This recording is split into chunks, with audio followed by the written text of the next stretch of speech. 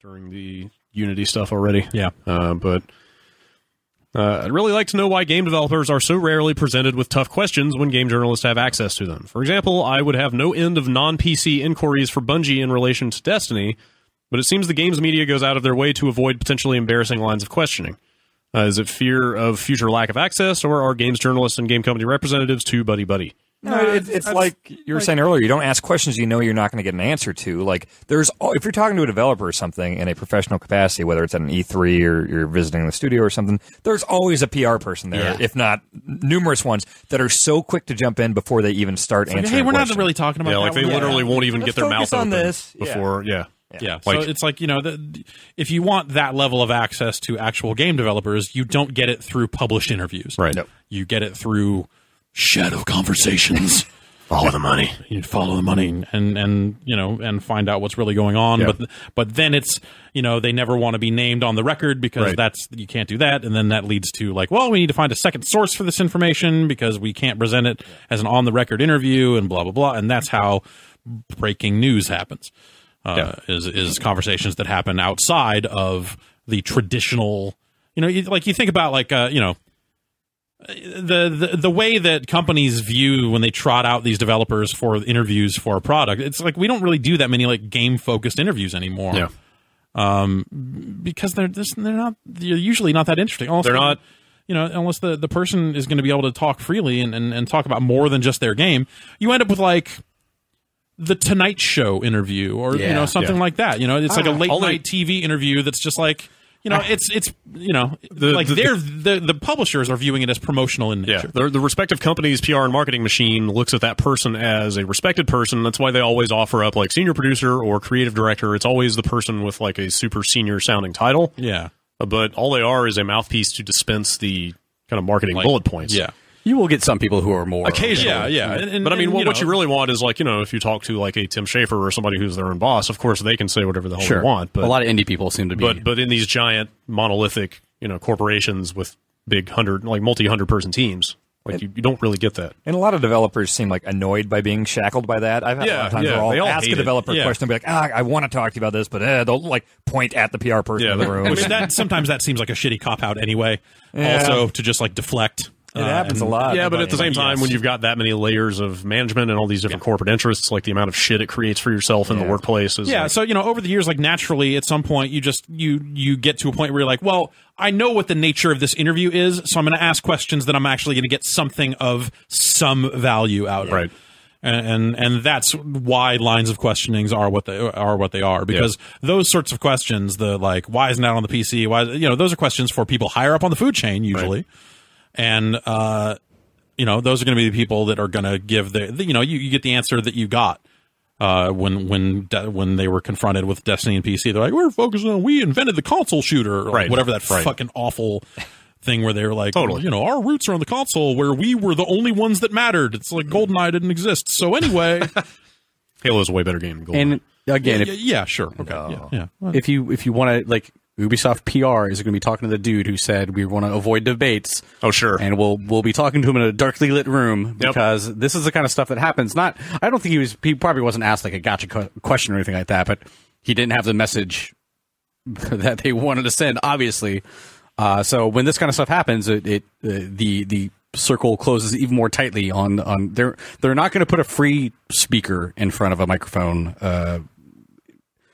so it's it every time something like this kind of PR disaster happens, they they just lock it down even tighter. oh sure Yeah. and, and to oh go ahead no, you got I was I was going to say to his his last point about you know games writers and developers getting or representatives getting too buddy buddy like that is something obviously to keep in mind uh, at all times. But like you said earlier, that's why people go out and develop sources. You know, yeah, like that's why you like people like Patrick make you know form relationships with people because yeah, but the it, only way to get the real dirt is to have people who trust you and are willing to give you that information, knowing that like they're not going to get you will- fired yeah, for it. You will protect them, Right. uh, as a source because they will be that sort of fired. You know, like if you're leaking dirty company laundry, like that's yeah, your ass. exactly. Like, that, that's, it's over. Like yeah. that, that's kind of the problem with reporting on like an you know enthusiast, like consumer media like this. You know, like these are not public. You know, they're not publicly elected government officials. You know, they're not held to public account. Like there's no Yeah. you can't file a Freedom of Information Act to find out what the fuck happened with the Destiny story. You know, Right. Like they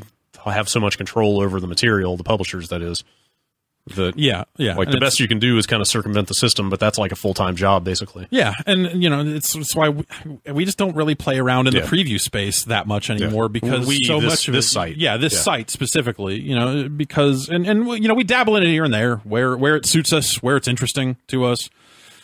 Uh, you know, in E3 and stuff like that, where there's there you can have larger conversations at times, um, and you know, like we don't play around in that because it it, it is exactly that. It, it is it's the interview of just like, well, here's the new gun we're talking about this month, and you know, the game's going to be out in November, and we're shipping on these platforms. Thanks for talking. You know, it's just like those interviews are of low value. Yep. And people stop watching them at some point. You know, it's like with those, you know, we, I I don't know how many interviews like that I've done. I'm sure, Brad, you've probably done even more.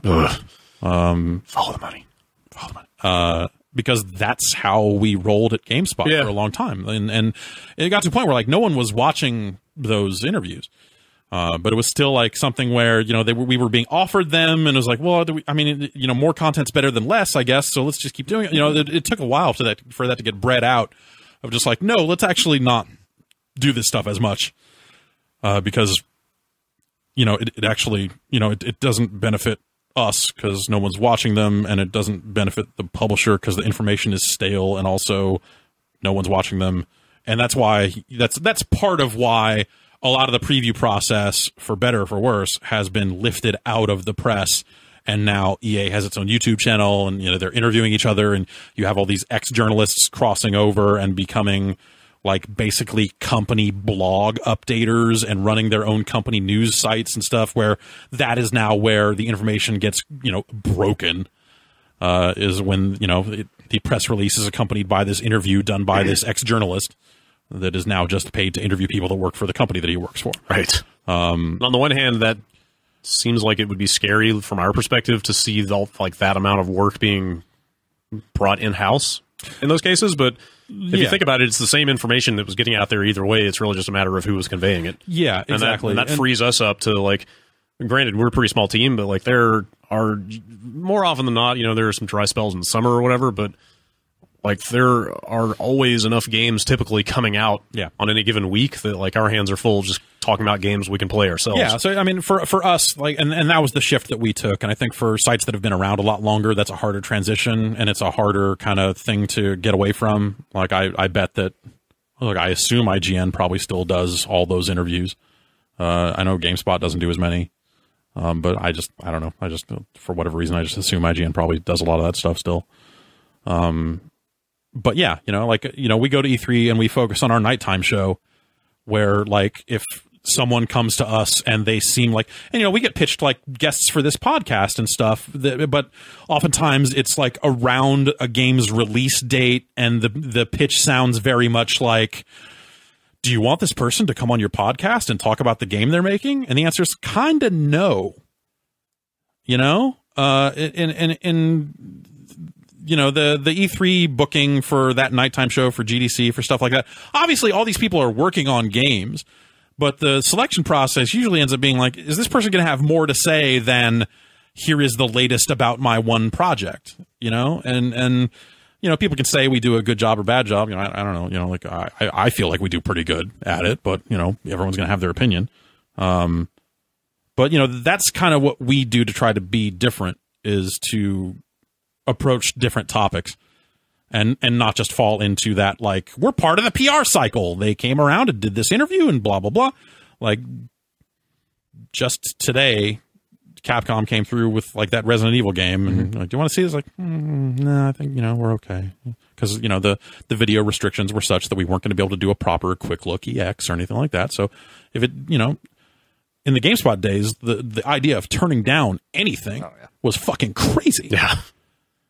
So to be in this position where it's like, I mean, no, we're, we're that we'll we'll wait until we can produce our type Right. of content with this game. Well, that's the key difference because back then we lived and died by the drip feed of information and access that Yeah. we got from publishers, and now like we're fucking spending three hours in this godforsaken battle of wills and Mario Party or whatever. You know, like we found ways to make content around stuff that isn't like current, up to the minute, relevant new releases. yeah, if we have to, and, and you know? do and just do different stuff. Yeah. You know, so rather than like, well, we can only take ten minutes of footage of this, but the embargo date's coming, so we better do it. Yeah. like we're trying to present better content to everyone out there. And if that means it's later than other people's, or if that means that you know, like we're waiting for, you know, like what was it? We could do alien footage like last week, right? But it was like it only it had to be up to a certain chapter, and it could only be this many minutes and all this other stuff. It's like, well, we do the quick look. That's what we do we could bend for this and produce an inferior video that then cannibalizes our later video, or we could just say fuck this and wait until we can do our thing with that game. And instead, we wait and we do our thing with that game.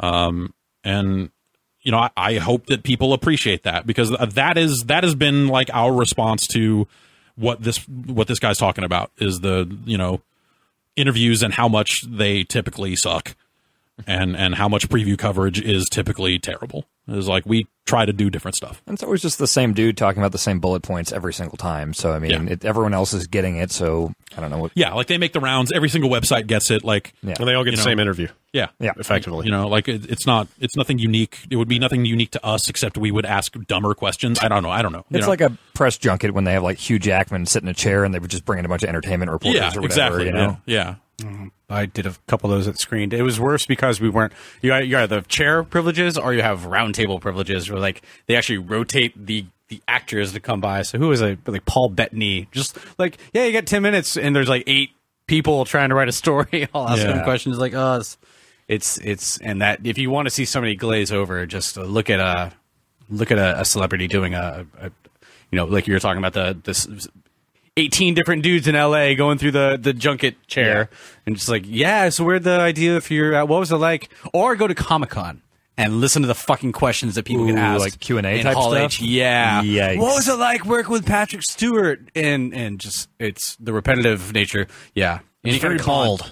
Yeah, he's, he's, he's very, very, very nice guy, uh, from what I hear. I just mean like Hank Azaria or something and going anywhere and like, oh, do the Moe voice. You know, anyone who's done voices on The Simpsons ever. right. Yeah.